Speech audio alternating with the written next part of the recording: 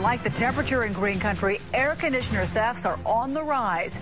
2 News reporter Beth Burnett is live in Midtown Tulsa tonight. Now, Beth, businesses and schools, they're not the only targets.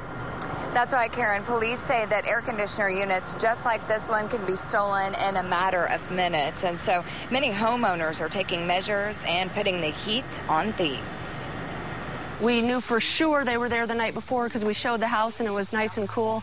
And the next morning, they were gone. Two new air conditioner units vanished from Sharon Barnes' rental home. And the units were about as tall as my waist. They're giant units. Thieves destroyed part of her fence to get onto the property, a crime that is costly and unfortunately common. It's hard to imagine that people are getting away with the property of the schools. I mean, that's more horrifying to me that our public schools are losing five and ten pieces of equipment at a time. Someone has to know something. The units have copper and expensive parts. Most home insurance policies will cover this type of theft. In this case, we are going to go ahead and file it. Certainly contact the police, notify your insurance agent, and then do the very best you can to take precautionary measures, um, you know, while you're waiting to have a new one installed. Insurance company owner David Vaughn says in most cases your premium won't increase, but be prepared to pay your deductible. It's not normal that they would come in and that they would they would cancel you or, or raise your rates because of that.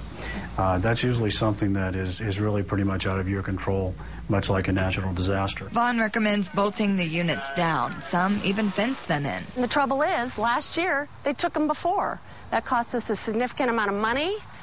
$5,000 to replace. This second time victim is determined not to deal with it a third time. Because it's happened twice, she will pay $400 more a year for insurance.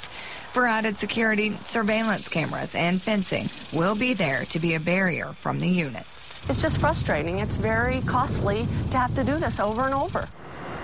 And insurance experts say it always benefits you to have a police report on hand if you ever need to file a claim for getting your air conditioner stolen. Reporting live in Midtown Tulsa, Beth Burnett, 2 News works for you.